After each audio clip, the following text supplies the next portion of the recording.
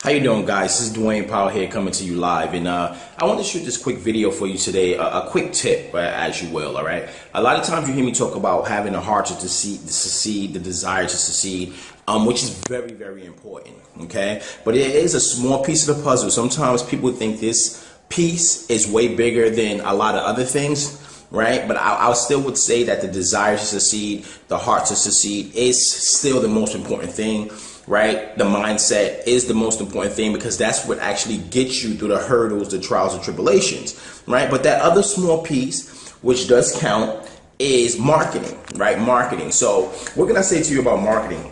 Some of the tips I want to give you today, real quick, is that with marketing, guys, you want it's, it's, it's a lot of ways to market. Okay, marketing just basically means getting the right message in front of the right person at the right time.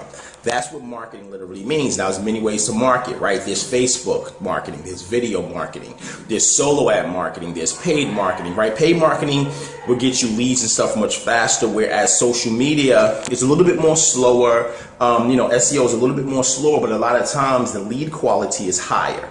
All right. But this is what you want to do, especially if you're a beginner. Okay. The main thing is that you want to be focused on a strategy and consistent at the same time.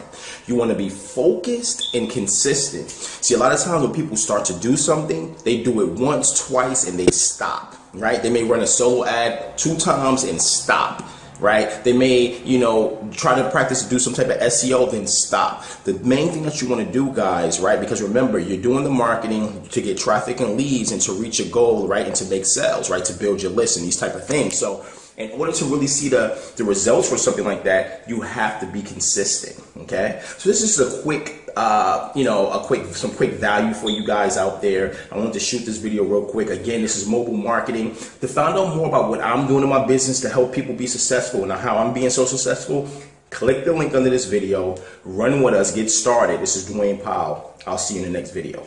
Take care, my friend.